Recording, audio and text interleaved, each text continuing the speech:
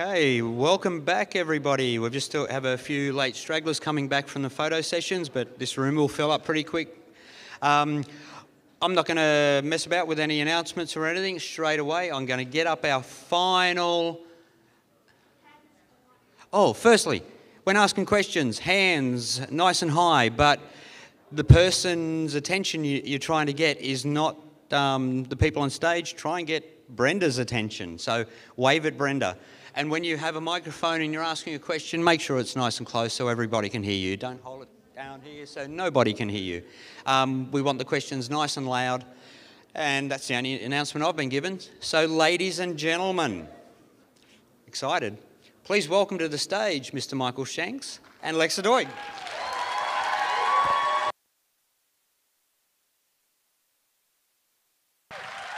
Oh!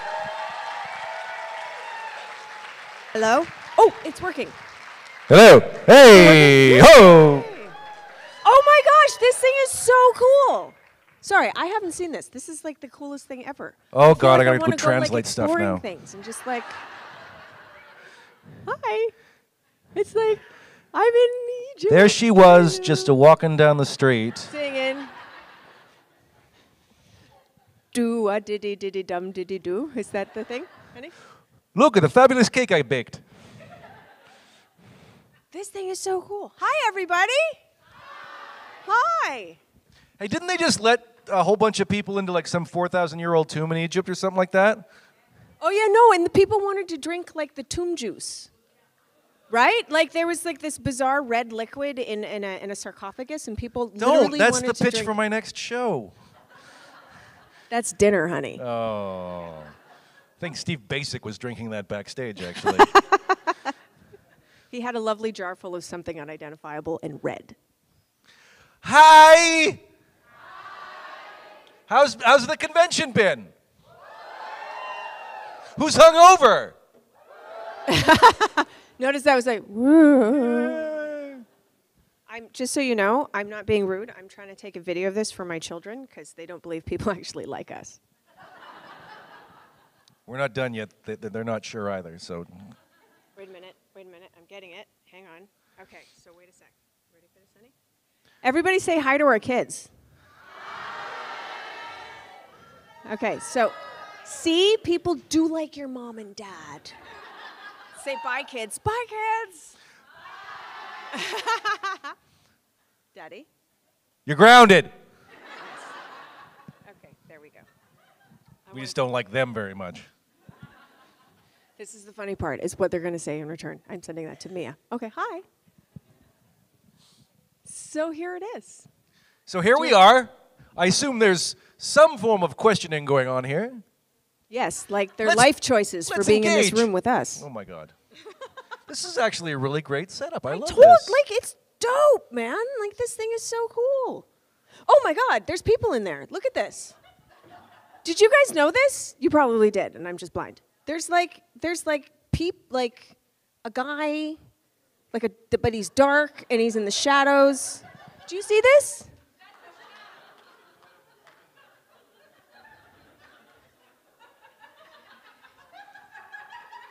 You married it. We've got like 45 minutes to like answer people's questions, and you want to point to the wallpaper But in the that's background. so cool. Okay, never mind. Hi. Oh, one. I'm assuming that's because you have a question. I do. Um, this question's for Michael. I'm sorry, but when you got a new script, did you just assume you were going to die in that episode, or were you hoping you'd survive? Anytime I get a script, I assume I'm going to die. So, yes. Um, no, it wasn't actually until I think I've told this story before, but it wasn't until Fire and Water, where Brad Wright was sitting on a plane with me, and we were on our way to a, something to promote the show, and he passes me a teaser for a script that he's sort of writing, and or having a hand in um, in um, overdrafting, and and um, the teaser is Daniel's funeral. And then I read it, and I'm like, "What the hell?" And he goes, Now give it back. So I give it back to him, and he's like, Have a good flight. And he wouldn't. I sort of was like going, what, what's, what's that all about? What? He goes, he goes, That's all I'm going to tell you. So basically, like for the next week and a half, I was tormented till the script started coming out slowly. That I thought my character was dying in the first season of the show in Fire and Water. So um, ever since then, every day alive has been a blessing. So. Oh, two. They're numbered. I know this is. It's really weird. Hi. Hi. Um, so this has been echoed throughout the convention, but um, the show started 21 years ago. Uh, the conventions have been going on for a while. Um, what do you guys think of like the fans being still invested for 21 years? I, I we we're just talking about this. We did a, an interview with. Um, I think it's amazing. with with GateWorld and Stargate Command, and and um, I think that um, what's been it's been exciting to sort of see the the length of, of time that the, the fans have been invested, especially that the show is not in a lot of places not airing anymore, or it's only on Hulu or something like that. That there's a new generation of fans, as well as the fans that have continued to be interested in our lives and you know the, the longevity of the franchise and where it's going and stuff like that. It's been incredible. So it's been a, a, a gift to. Uh, to have you guys be part and invested in, in the show and for, for people who you know still scares the hell out of me when grown men are coming up or grown women are coming up and saying oh I, i've been watching it since i was a child or you know saying i just just started watching the show last week. I mean that's equally uh, um, fantastic to have people as invested then or now as they were then or, or as other people were then and to have uh, so many years past it's been fantastic and i'm curious as to see where the franchise is going to go from here What he said.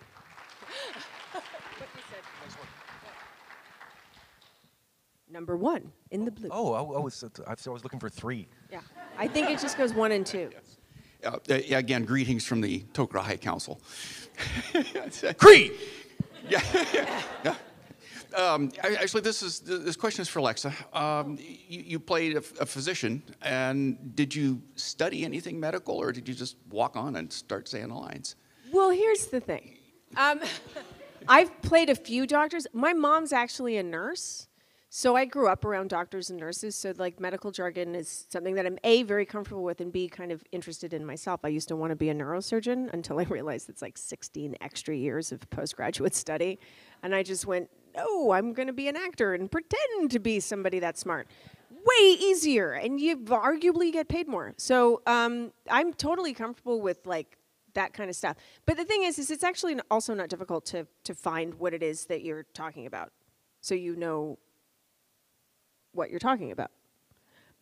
I really sound very stupid right now, don't I? Awesome. She only plays a doctor on TV? I only play a smart person. Yeah. Other people have to make me sound smart. Hope that answered your question. Hi.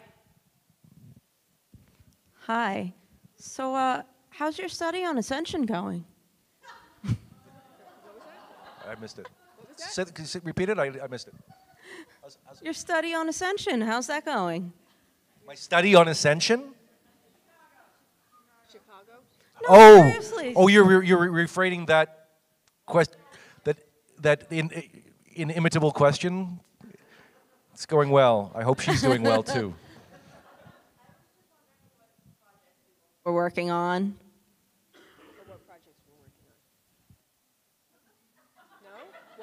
Was that me or was that you? Were you? You're you, are you part of you both?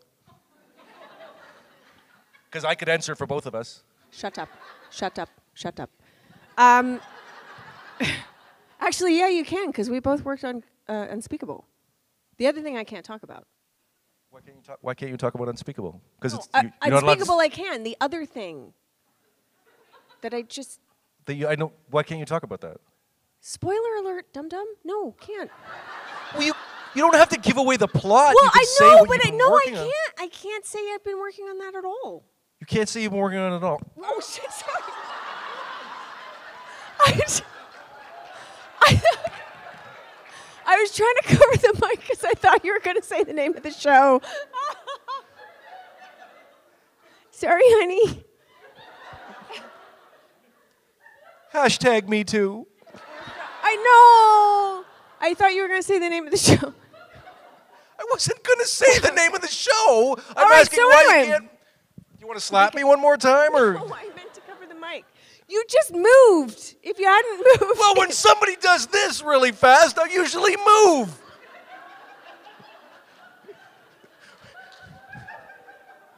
Two for somebody, flinching. Is somebody recording this? Because I need yes, to like watch it's live streaming Ooh! across the world. Oops. Um, okay, so yeah, there's this really important. Anyway, when the lawyers part see that, they'll know. Uh, there's this really, which Michael plays the lead of. I'm only in a couple of episodes called Unspeakable that Rob Cooper wrote. Yay for Rob Cooper. Um, that is uh, about the tainted blood crisis um, of the 80s, which is a really interesting thing. Do you want to talk a little bit more about it? Yeah, Unspeakable is, is uh, obviously it's a um, based in real life uh, uh, period piece that lasts over runs over the course of about 30 years from um, the Tainted Blood scandal in 19 starting in about 1981 1982 to the present uh, involving um, characters that are based on uh, some real people and some characters who are real pe- people um, that uh, were actually part of you played a real person, uh, and my character is a bit of a hybrid of a couple of real people. Uh, that um, uh, Rob Cooper um, uh, was a hemophiliac, and um, well, is a well, no, he was he was well, yes, he was cured of the Hep C, but he was a, he's a hemophiliac who contracted hep- hepatitis C from. Um, I, am I telling the story, or are you? You just take, you take a really long time. I'm sorry, honey. Maybe you'd like to slap me again, and we could um, like go mean to do faster. I feel Um, anyway, from um, cryo that he was taking for uh, uh, for the clotting factor for his hemophilia, and he contracted hepatitis C.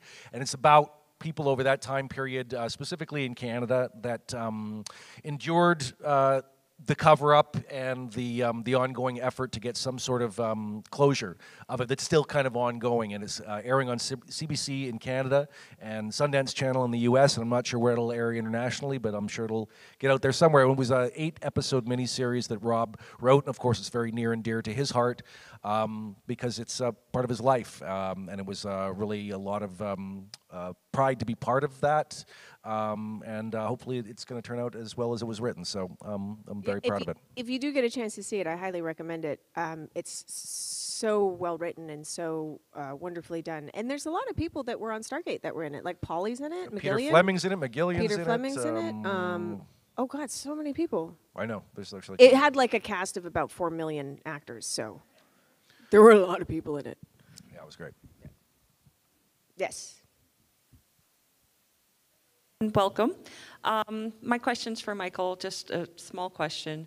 For all the things that Daniel has had to squint and try to decipher and translate for everybody across the entire seasons, um, did the props people ever put anything in the text of what you were reading or translating on the walls or whatever for you to find? And did that ever crack you up? Or did you ever just interpose something that you wanted to say instead of what you were supposed to be translating?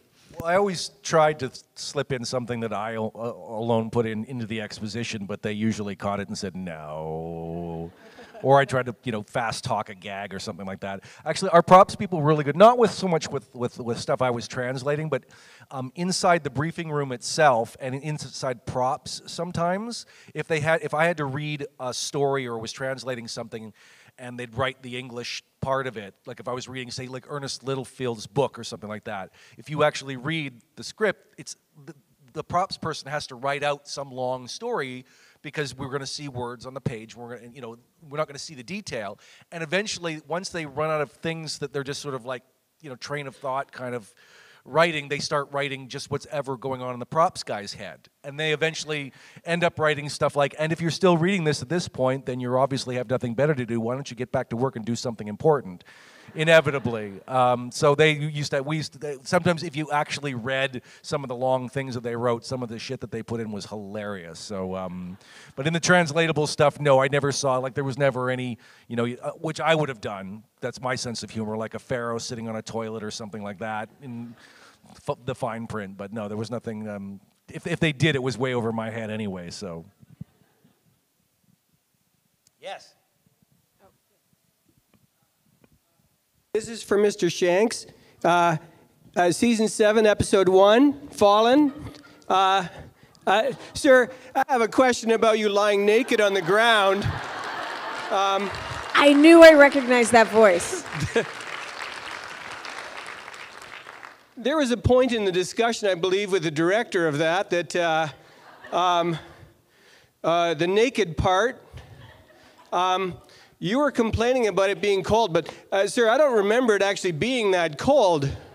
Um, uh, it felt to me like, like there was a. Oh, here's a doctor. He can describe uh, what happens when it's cold to a human man. Uh, but it wasn't really that cold, Mr. Shanks. So I'm just. Go make me a frittata. He's still talking. Okay, I, I actually have another question. This would be for uh, uh, for Alexa Doig. Um, uh, uh, uh, Alexa, you did a, uh, a movie that your husband appeared in as a cameo. Yes. Yes. A real murderers thing. Yes. Um, now, uh, your husband seemed agitated as he came out and shook his fist at some children who happened to be your children and mine. And yeah. Uh, at that time. Uh, we called him the grizzled hillbilly at that point because he seemed to Hadn't have a full face of months? hair. That guy, yeah. Yeah. Um, now, can we speak about his genitalia in that scene, please? Uh, I believe in that scene, it was a little warmer and his genitalia was covered. I, I don't remember that part. Considering you were directing part. it, you really should. Oh, sorry. Thank you. Thank you. Okay, uh, thank you for answering that for me. Am I thank that you. short?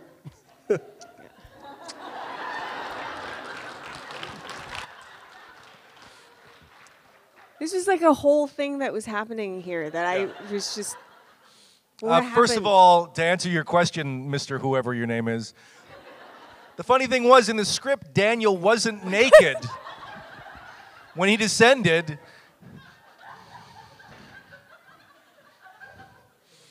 He's still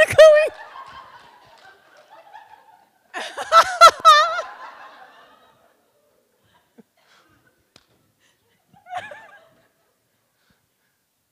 Hang on a second.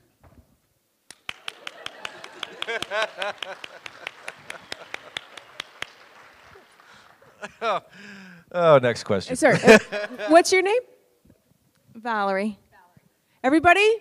Valerie. Welcome Valerie to the stage. There we go. Does anybody have any questions for Valerie? Yeah. All right. Oh, yes, back there for Valerie. Or you can just, you know, yell really loud. Are you having any remorse about the auction last night?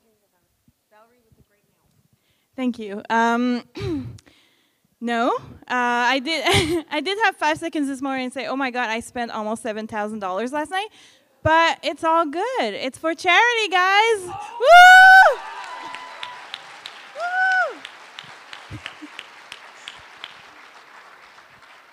Oh my God. I know.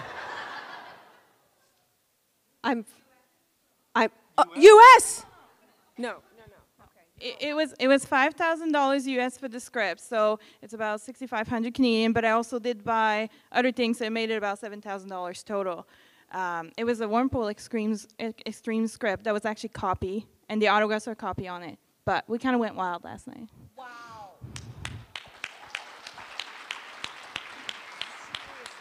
Drinking in conventions, folks. They don't mix. I People have- think they do, they don't. I have one question. Did any of this happen after midnight?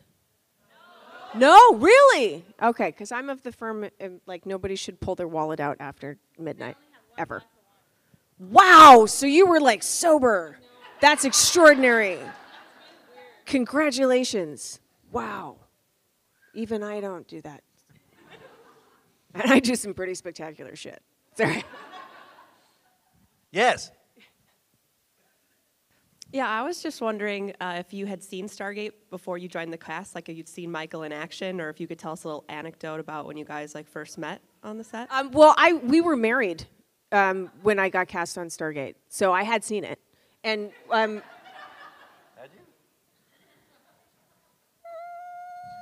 yeah, Well, why don't you tell only us- because Claudia was on it. Why don't you tell the story about what, what, what, what you thought about me? Oh yeah.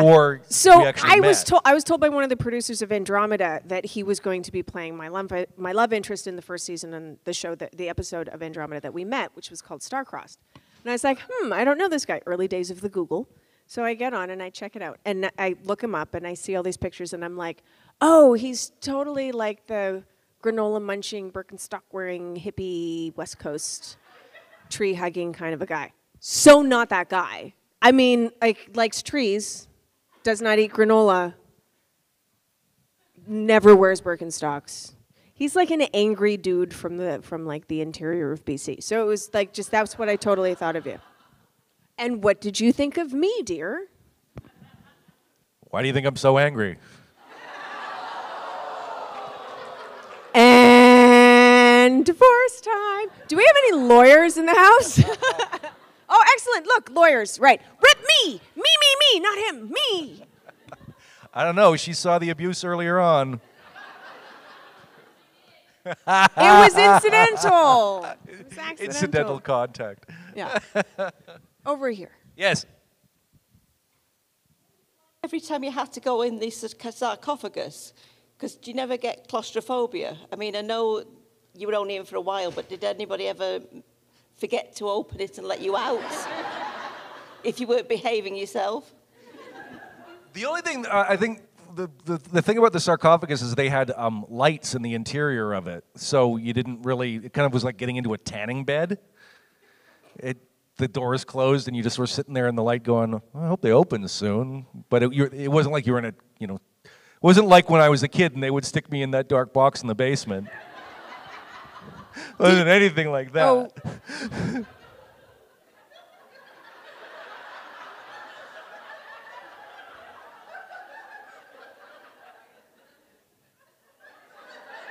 He's. I just want you all to know he's actually producing tears. Is that because you're holding your breath, or are you actually? Yes. Okay. And I'm thinking about Martin making me naked in the field again. Martin clearly did not have your And, we, enthusiastic consent. and Martin, that whole alien probe in the butt thing, that Is he still never panned out either. So He's he- not did he here leave? anymore. You're talking. He literally left. He Oh literally God, got bored and left. Ah. He fully came in and trolled and then buggered off. That's how he directs too.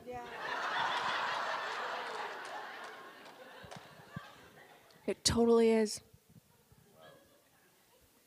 The sarcophagus. Could you get out of it? No. Real like there was no like escape hatch if you suddenly got claustrophobic and freaked out. Well, you I just had to like yell I and think I scream. would have warned them. They might have, you know. I think they they opened it pretty fast after they closed it, but I, I'm not claustrophobic, so. That's not what you told me yesterday. It's because you were getting too close. Next question.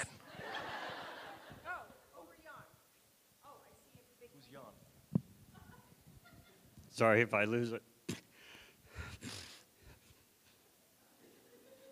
Sorry. In reference to Hallmark, my. Uh, sorry. That's okay.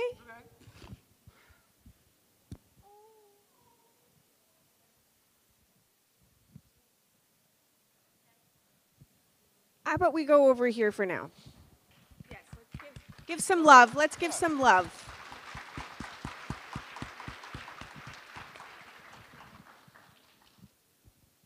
Hi.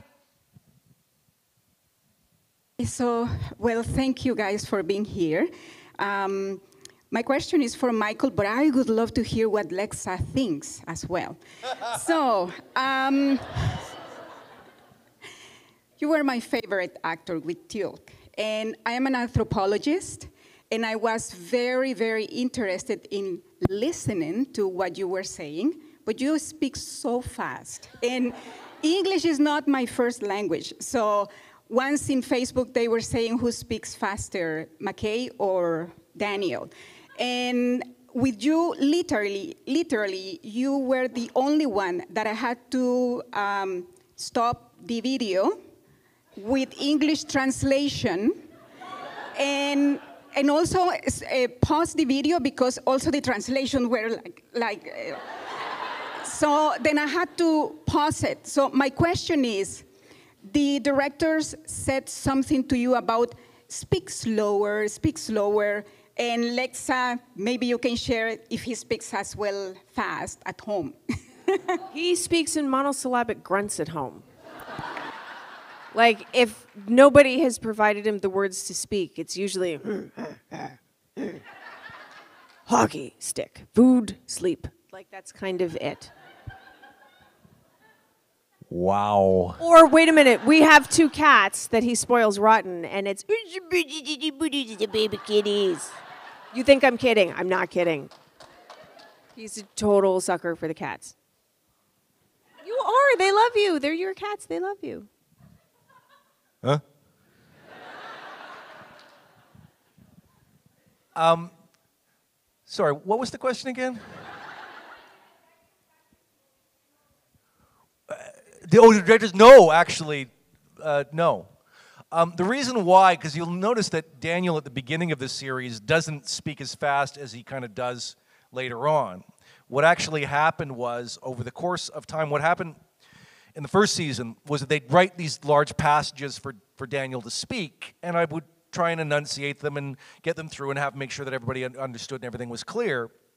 Because I sort of come from a theater background, and clarity is, is key.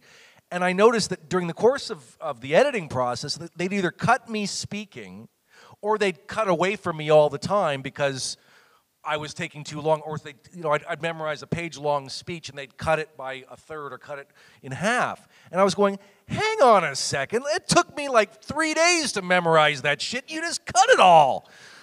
And so what I do is, in order to make sure it was going to actually get in the show, I would start to speak it faster because they gave me these large passages to speak. And then because I would squeeze them all in, the passages started to get bigger over time. And so I started to get faster speaking it to make sure I could squeeze it all in. And by the end, I was probably going warp speed and time traveled to some point in my parents' early history um, where I realized I was going probably a little bit too fast. But I want to say that David Hewlett speaks faster than I do, and you can't understand a goddamn word he says. And I was standing right next to him, so I know, because I didn't even know it was my cue, because I couldn't hear the cue line. I was like, Jesus, he's done. so I think that Hewlett's got an edge in the um, warp speed speaking front. Yes, over here. Hi, I'm going to ask uh, uh, the question on behalf of Todd. Uh, this is for Michael. Michael, you did a Hallmark um, movie with a military character, and uh, first of all, Todd just wanted to say uh, thank you very much for the portrayal that you did, and he wanted to know what it was like for you.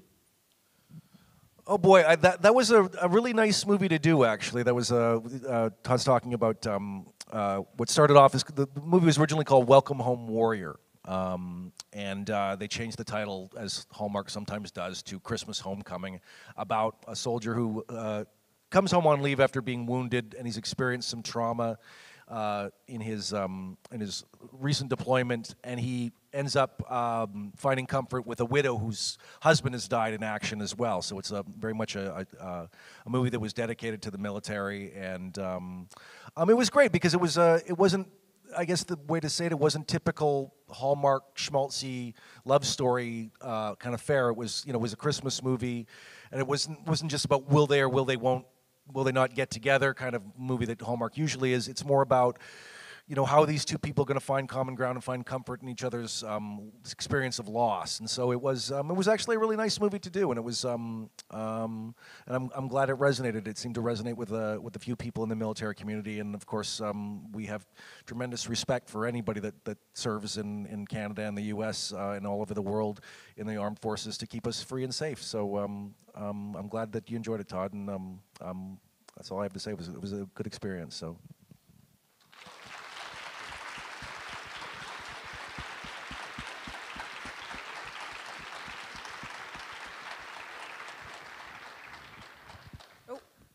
I think I see a, a big one over there. I am a big one. um, it's a pleasure seeing you guys. I've really enjoyed all your work. Um, the question I have is uh, primarily for Lexa. Uh, going from Andromeda, where you were there from the beginning and you gelled as a crew and a team and a cast, how is it moving over to Stargate? in the last couple of seasons to join this existing family and work with your husband more regularly?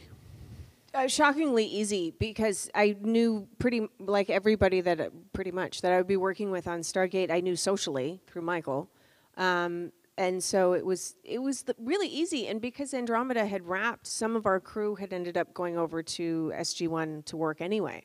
So when I'd go to work, even behind the the camera, there were people that I knew. Um, so it was it it was really comfortable for me. How did it? How did you feel about it? About you coming to set? Yeah, about your wife working with you. I believe you said something to Coop about that. You told me. I Don't deny it. I said. Did I say something? Did I say something nice to Coop about it? Nope. Oh shit. I believe you marched into Coop's office and said, You hired my wife? I can't get away from this woman.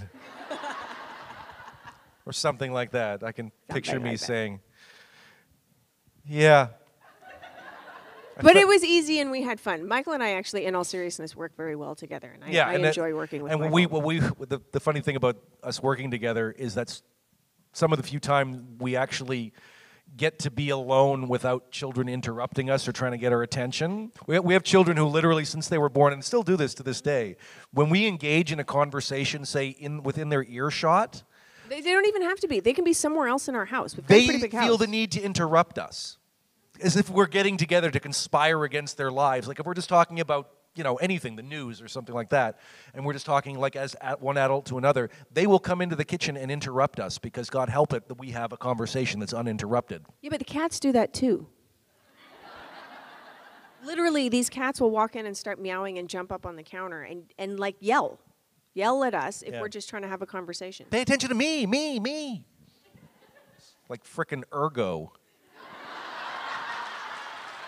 Well played, Shanks. Well played. i still remember some of that stuff I'm sorry, what did you just say? you just say his name and he appears I have One question. I have yes. one question.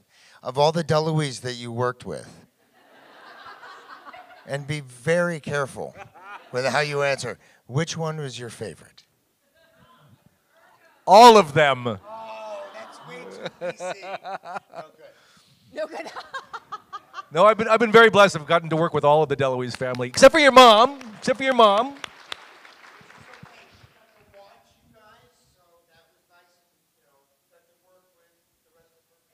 It's, it's true.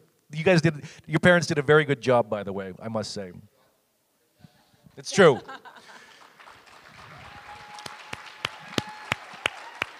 I think I've said this numerous times, and this is true, and I'm not just saying as David's here, as uh, I've said it privately, publicly, or whatever, that out of all the showbiz families that um, uh, have been run through the business, I've gotten to work with two of the best um, between um, the Bridges family and the DeLuise family. They're just amazing, amazing people, and uh, I've been very lucky that way. So.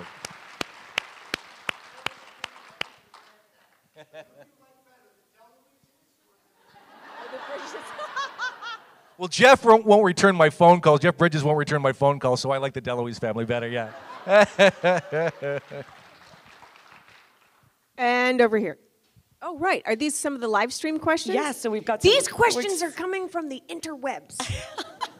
So we've got some great ones. So our first one is from Sonia Melenkoff, who's one of our biggest Stargate Command fans, and it's her birthday today. Number Oh, right. one. We're supposed Uh, to say happy birthday. Yeah, can you guys say happy birthday, Sonia? Yeah, you want to sing? Happy birthday, Sonia. Are we all going to sing? Okay, Oh, ready? Are you? row, row, row your boat gently. Wrong song. Oh, you- you just happy said birthday. sing. I don't no, know. happy I- birthday.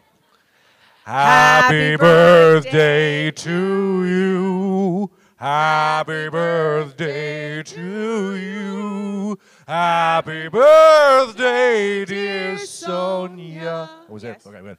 Happy birthday to you. I can't sing, but yay! Awesome.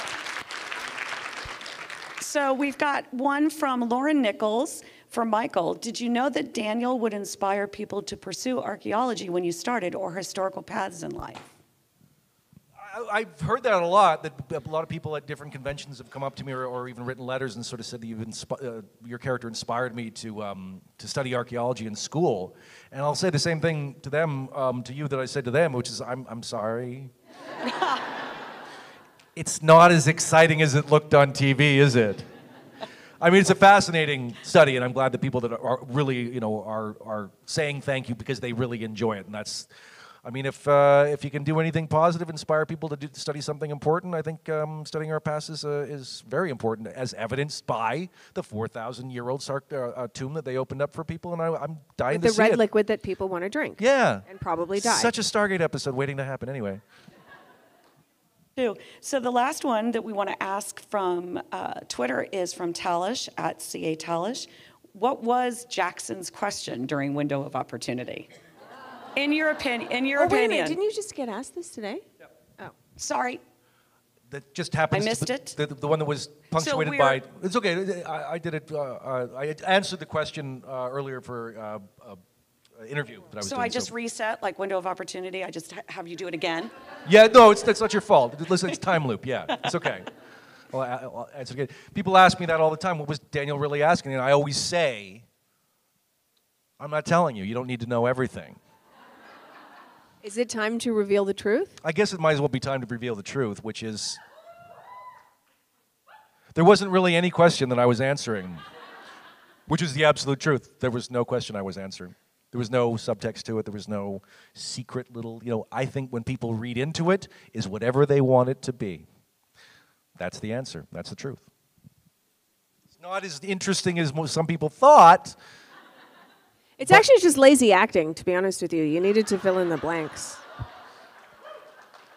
I'm not Just going saying. to tell you what I thought the question was. I'm just saying what the script said, what that Daniel was answering was unspecific. So I inserted something of my my own, but that's what you but do I as an actor. I think that's what everybody's asking. Well, I'm not answering that question. No. Yes, over Jan. Who is this yawn person you keep talking about? you can't see him. He's my imaginary friend. Hi there. This one's.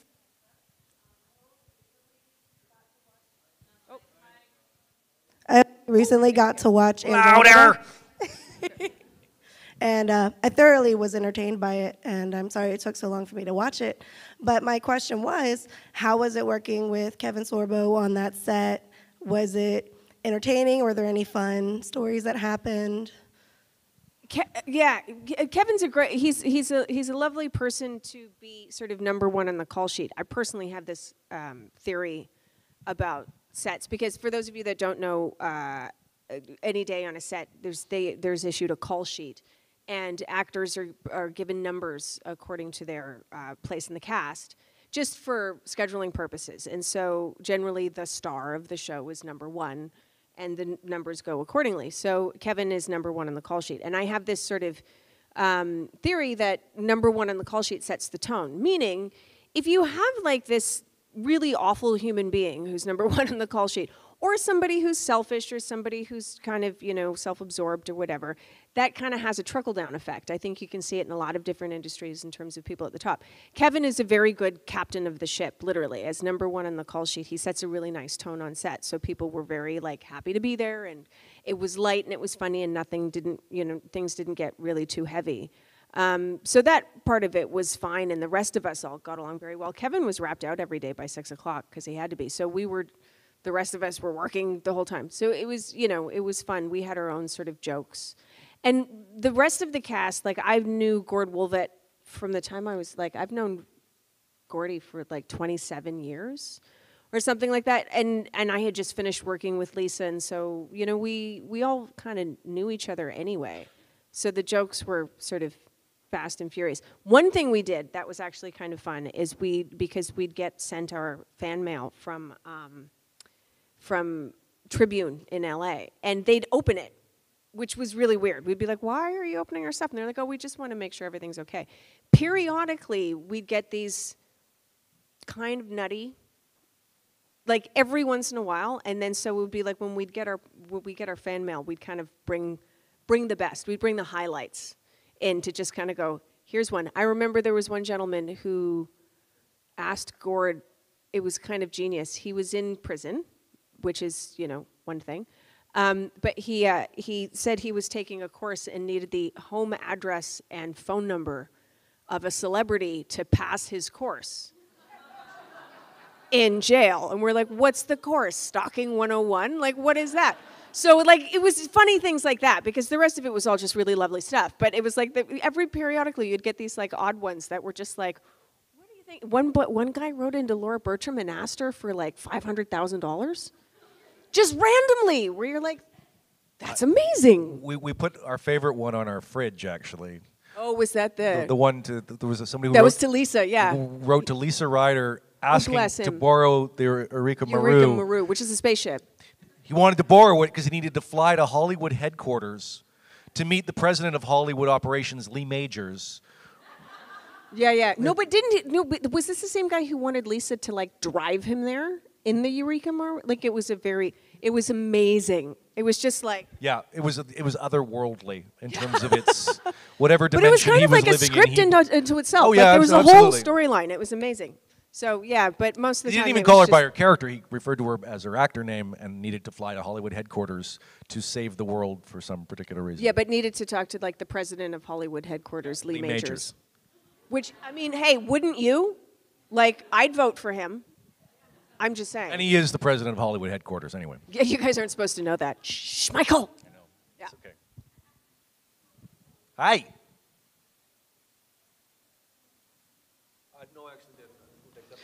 Um, so speaking as a pastor's kid who went way far away from that field, um, are your children following in your footsteps, or are they just running in the other direction? We try to frighten them as much as possible from our footsteps. Um, Although the eldest, Tatiana, just won a bunch of awards at the um, Yeah, she- Madrid Film Festival in Amsterdam, and my my daughter, who's who just turned 20 this year, when she was 18, she started making this this her first sort of first full length short film. I know that full length short film sounds funny, but it's kind of true. She'd made like a little almost fun one before that she put on YouTube, which was actually kind of good when she was about um, 15. And then she made this one that her mother produced that she's um, won a bunch of awards and film festivals all over the world. So she wants to go into directing. She wants to pursue the field. And our our other daughter, Mia. Um, is a singer and um, she kind of And wants to songwriter. act. Yeah, and songwriter, and she kind of wants to act. Um, and but she's not allowed to. yeah. We're, we're preventing them from, you know, seeking it to do it professionally. Uh, At this point, At this they're point. yeah. Um, we want them to study and, and actually, you know, do it for the reasons of loving to do it as opposed to doing it because mom and dad are on TV and that's kind of cool. Um, so Or they want more Instagram followers. yeah, or whatever it is. You know, I really like. I really want to meet the people on that Disney show, so I want to be an actor. Oh no, she's over Disney shows. I know, but I'm saying this is these are the ongoing reasons. So, Stay with it. Um, we're, we're, we're not openly discouraging them so much as uh, we're, not, we're not openly encouraging them. We just want them to find their own way. So hopefully they'll And, make the right and our youngest, although I do have to say this, our youngest in some respects, our son Sam, probably in a way would be the best at it. Because when he was younger, he's so committed, like in, in, in preschool, he was so committed to roles that he played in his head. Like, who was he? He was Steve from Blue's Clues, Yeah. Annie from Little Orphan Annie. Yeah. He was the great and powerful Oz, which is Oz from The Wizard of Oz. He was so committed, complete with costumes and everything, that he wouldn't respond to his own name. And when we dropped him off at preschool, it would be the preschool teacher would be like, "And who are we today?" um, so we jokingly refer to them as his alters because he was so committed. Like it was, he was not Sam anymore. He was whoever this this character was. But the best was when he Michael won Dad of the Year when he introduced my son to this video game called Left 4 Dead, which is a first person shooter, but you kill zombies, in fairness. But Sam would be dressed up as Steve from Blue's Clues with the little backpack on his back. And he comes up to me one day and he hands me an empty water bottle and he's like, Mom, can you make me a Molotov? So I literally am putting napkins in in the plastic water bottles as my son, who has this like little plastic toy, you know, gun type thing, is running around the house going, Fire in the hole! Come on, Blue, let's get the zombies. So he, he and Blue from Blue's Clues would go zombie hunting thanks to Michael. So, aspiring writers out there, that's Get a on it. dream crossover episode, by the way. And yes, This is for Michael. I'm from Michigan, so I really enjoyed your portrayal of Gordie Howe and Mr. Hockey. So I wonder, or were you a fan of Gordie Howe before you took the role, or did you get to meet him while you filmed it? Um, I, uh, w- w- the- when I grew up, I was born in 1970. So by the time I was, you know, we had two television stations in the town that I grew up in, so there wasn't much. We got mostly one game a week from, from the NHL on Saturday nights on Hockey Night in Canada. And um, Gordie wasn't back in the league till around 75, 70, yeah, around, around then when he came back with the Hartford Whalers. So I never saw anything of Gordie when he was at, at his peak, um, and certainly not anything in the WHA either. So it wasn't until he was back in the league when it was. I remember my dad telling me about this, the fact that we were watching a game one day and I didn't really understand what was going on, but he was pointing at this old guy that was skating around on the ice, and he sort of said, "If you watch, nobody's touching him out of respect." And I watched it and I'm like going, oh yeah, nobody's really trying to hit this guy or whatever. And it wasn't, of course, until later that I realized it wasn't out of respect so much as out of fear that they didn't want to get old elbows mad. Um, and of course, anybody that, um, you know, as I grew up, the legend of Gordie sort of grew, you know, uh, in my mind. But of course, you know, not having too many archival references to sort of watch him play um, is still prominent to this day. Because even doing the research to do the movie, I couldn't find a lot of footage of Gordie actually playing the game. Um, uh, it was fantastic to do the movie. Uh, it was a blessing. We, um, I did not meet Gordie until afterwards, uh, the following year, um, when I actually went to a um, convention in Toronto where, where I was there filming Saving Hope, and I brought. I knew he, I knew he was going to be there, and Paul Brown from Legends let me in because he was there with Rick, and um, I went and got the the jerseys from the movie signed by Gordie, and then had a really long conversation with his son Marty uh, about the movie and about you know because they were listed as producers on the movie, and they they they, they didn't come to set. Um, they were a little bit uh, preoccupied during that time, and of course, uh, Gordie at that particular point was um, was not well. He was well into his dementia, and and um, that was actually his last signing that he ever ever did. Um, but what I do remember is I'm standing there talking to to Marty about um, about the movie and little details that they liked and some that they didn't like and whatever, and and some of the behind the scenes shenanigans. And all of a sudden, I get this, you know, something in the side of my face. And I look over, and Gordie's done signing. He's come over and given me a little elbow chop right under my chin. And he gives me a wink. He hadn't said a word really the whole day. And he kind of gives me a wink, and he leaves out the back. And Marty has to go follow him. And so that was, I got an elbow from elbows, and that was uh, enough of a thumbs up for me for, for doing the part. So. Um.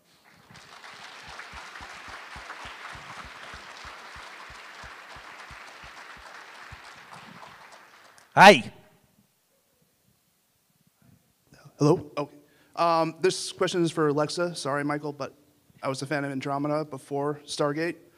Um, um, what was it like playing several different versions of the same character of uh, Rommie on Andromeda? Um, it was fun. Like it was it was interesting because that's what I had to do for my audition initially was basically there was one scene with three different versions of Andromeda talking to herself and I had to do it three times, one is each sort of character, so to speak. And um, sorry, I think that might be my child calling me, and she's not. I'm turning that off. Sorry about that. Um, Mia was calling. I don't know if the house is burning down. Anyway, um, and I just turned it off. Mother of the Year. there goes the award. Anyway, um, and uh, Robert Hewitt Wolfe sort of said I was the only person that literally did it in three takes, three different times. So he was like, "That's why you got the part." It was easy for me because I like acting opposite myself. Because I know what I'm doing. I know what the other me is doing. no one else does, but Well, you don't have to be in the same with me. We're so mature. Um, but it was fun. Like it was, it was especially fun finding the kind of um, the different characterizations because it, wasn't something that when I went into it, I knew exactly what I wanted to do with her in that regard. It was something that I sort of discovered along the way, and some of it was actually part of the um, just the process of filming it because we had to shoot um, the green screen stuff. So that would be the AI stuff on the screen, and the hologram stuff was shot on a different day than the Rommie stuff, the actual physical body.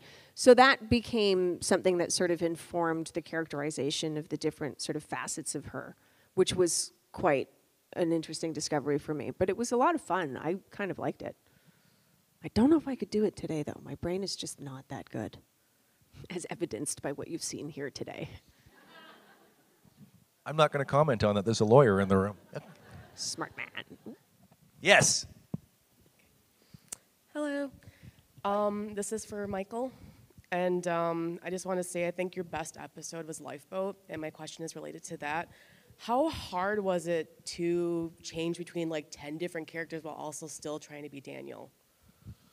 Um, I had learned a valuable lesson. I had done a, a, a movie uh, when I left the show called All Around the Town, which uh, involved my character playing a, a psychiatrist opposite a, a gal who had multiple personality disorder, strangely enough. And I remember she had gotten cast two days before she actually, after she auditioned for the role, she'd gotten cast two days before we started filming, which was really not fair to her because she you know, you go from an audition where you're just reading off whatever sides they give you to now playing this part where you might be playing seven different characters. And despite what some people think, that actors don't just have those things prepared in some amazing closet in the back of their brain, they actually have to do some work to create those, to bring those characters to life. So when I'd given, been given a hint that Lifeboat involved those kind of elements, I immediately got to go do some homework to try and evolve some characters, some personalities, at least some types um, that I could draw from to play this multiple. Because that was the one thing is that when failing to play, when, when, when failing to be, have enough time to flesh out a character from your multiple personality disorder, because they're, they're all three dimensional characters occupying the same space, you go to caricature, which is the bad guy. I'm, or the, this, you know, with her, in her specific case, it's like, I'm the femme fatale, so I'm going to talk like this. And then, you know, the bad one who's going to kind of talk like this. And you know, it, it becomes this general wash of stereotypes. And so I, I got a little bit more time, which is the key element to start doing the prep work. And I'd seen the girl struggle with this you know difficulty the scenario that she'd been thrust into it was really unfair to her and i went okay if i ever have that opportunity to do that i got to do the homework because it's it's important to, to flesh that out so um, I'm glad you enjoyed it. Uh, it was uh, it wasn't once I had done the homework, it wasn't as difficult as it could have been. So um, uh, it was a lot of fun to be able to to play that you know that range of people inside my brain too. So it was a, it was a gift from the writers as well. Thank you. Yes. Uh, Michael, this is a question for you. So when you started playing Daniel, he was sort of a more quiet, reserved guy, didn't really know how to use, for practical reasons, weaponry. But then later on, uh, say start of season seven, you started to use more weapons. You started to do really cool things. Uh, your character destroyed the Ori. He killed a lot of Goa'uld, etc., etc. At what point did Brad or Martin tell you that Daniel is a badass? Um, uh, it was actually in around season seven because at the very beginning of the show, uh, when we started, you know, doing the pilot, they tried to give uh, the props guys were trying to hand me this MP5, like in, our, in, the, in, the in the pilot in the off-world mission, they wanted to give Daniel an MP5, and I was like, "What are you doing?" Like, uh, and they're like, "Well, the producers want you to carry this weapon." I said, "At, at what point in time?" You know, unless he learned this when he was away on the planet, which wasn't clear in the script or wasn't clarified at all. I said, at what point did he would he take this weapon up because he was kind of a pacifist in the in the in the movie, and so I kind of rejected that idea that Daniel would use a gun. He was the guy who was going to try and you know use a peaceful process or negotiation or something. He wasn't going to be the the gun-toting action guy. It was when I came back to the show in season seven that Rob actually said to me, he said, "But we need Daniel to be more a part of the action. So you got to sort of you know take that on. And so that was when I said, oh, okay, well, that seems like an evolution to take, especially if he comes back going, you know what? I got to do more while I'm here. So if I have to take up action, I have to take up action. So that's where we sort of started adopting Daniel as more a part of the action world than the, in, the, in the previous five seasons that I'd been on the show. So that was kind of the transition. And I was um, Rob's uh, urging for, for me to sort of uh, be on, on board with. So that's when it sort of started.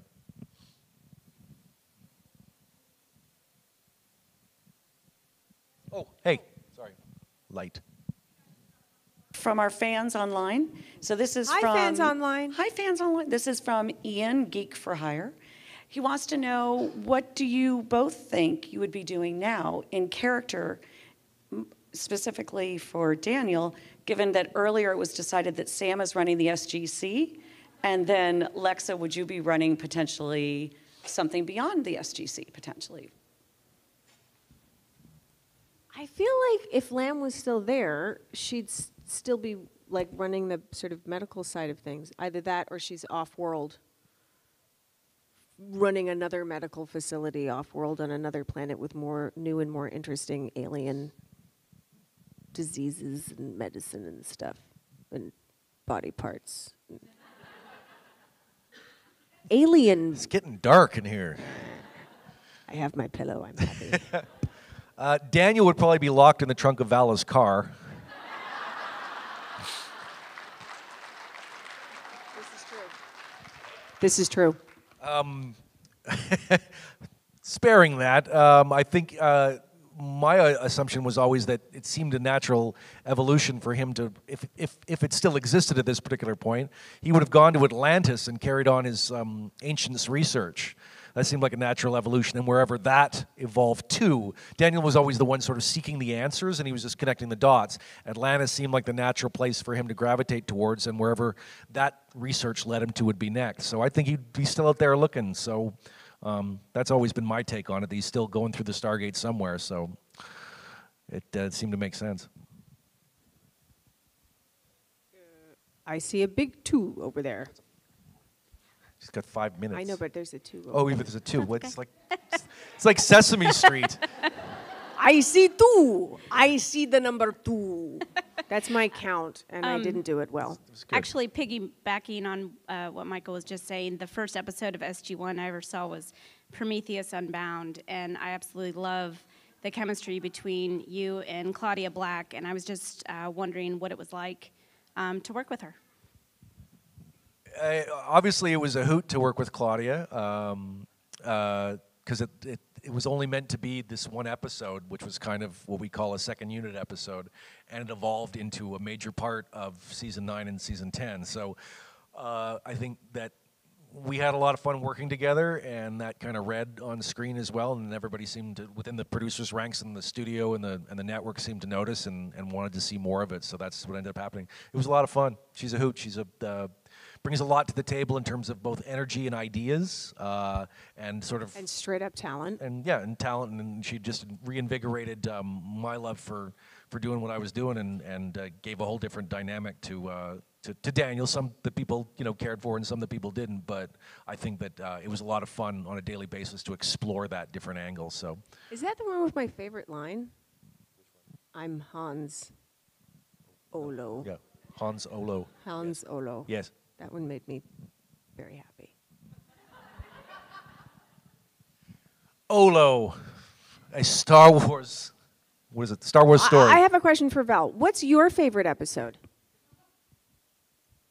That that's a tough one. Um, I'm gonna say, and I'm sure there's a lot of people out there that like it too. Window of opportunity. Woohoo! And thank you very Good much. Good choice. Yeah, good choice. Oh, over here. Yes. Hi. So, um, for those who haven't been here for the last two days, I, I have an impairment in my mouth. I have a snake in my neck, actually. uh, Michael, my question is for you. I discovered Stargate last year only, so I'm a newbie. newbie. And one of my favorite character in um, Stargate is the Unas. And one of my favorite face of you, like profile um, in that series, series is uh, the, the linguist, uh, Daniel, and the humanist, Langwell. So I was wondering if you could share some memories about filming some of those scenes with the Unas, like around the fire, and that um, granola bar or whatever, uh, energy bar that they had to share with the Unas. Was it fun or not? Um, it was it was uh, I playing playing the Unas in the episode was uh, is an actor named uh, Dion Johnstone who I'd worked with. Um, at the end of season two, I did a production of Hamlet, and he played. He was my um, Horatio. Uh, so we'd already been working together and had a really good rapport from from doing Hamlet. And so when he was, he'd already been on the show in a couple other. Um, uh, one other role at least uh, before he did the played the Unas role, and um, uh, he's a tremendous actor as well. So to have the level of expression and commitment that he had underneath all that prosthetic makeup was um, was a tough job, and he did it admirably and, and made it very easy to work off him in in in you know uh, such a uh, confined kind of way. Um, and it was Peter DeLuise's story, and he was directing it. So um, you know we were allowed to throw in a little little bits and bobs here and there to. Um, just like like improv a little bit and, and whatnot, and and um, with Daniel as the the linguist trying to figure out Chaka was kind of one of those uh, episodes where he's kind of in his element as well as you know trying to survive in the situation as well as all that. But I think a lot of it was to do with um, with Dion and how well he played that character, and I think when you know no offense to um, to Mr. Curry when when we did um, uh, Enemy Mine, which is the last episode that the Unas appeared in. It wasn't quite the same without Dion there because he had become that character to a, to myself and to a lot of people. That it wasn't quite the same doing the same kind of story with somebody else. Um, uh, just a, a, rare gift to have working with a, a good friend and who's doing a fantastic job. And Dion continues to have a wonderful career. Oh, I think we've got one last question over down here. Hi, uh, the question is for both of you. Uh, it's about Saving Hope. Michael, you've been directing uh, Lexa. How is was the how is it for you directing your wife, and Lexa, how it was for you to be directed by Michael? Do you want to go first? You might as well just say it. Go ahead, just say it. Just say it. I love working with Michael as a director. He's actually, we've had this keeping it like on your keeping you on your toes, dude. Anyway, um, no, we've had this conversation before. I really like working I with. didn't expect you to like be honest and shit. I was just waiting for like the. You had a chance to stick it to me, and you just like sort of backed right I know, off. but I can't when it comes with when talking to you about talking about your directing because you're really good at it, boo.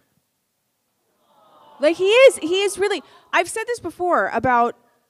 I'm just waiting for the other shoe to drop. Come on. I've said this before. I just wait. I'll smack you again. okay, okay, okay. Um. Anyway, um, no, I've said this before about about working with Michael as a director. Is that as like I, I've been doing this for 27 years. Legitimately, if he wasn't my husband, I would I would have really enjoyed working with him as a director in the sense that um, I trust him completely. He's got an amazing sense of story, and his sensibilities are are spot on. So and they're they're very similar to mine. So.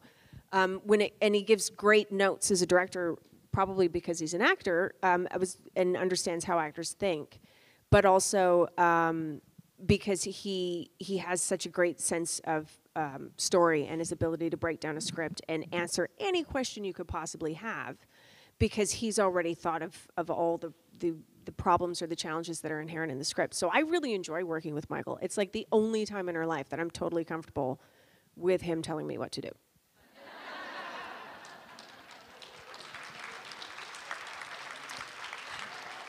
How did you feel hiring me, dear?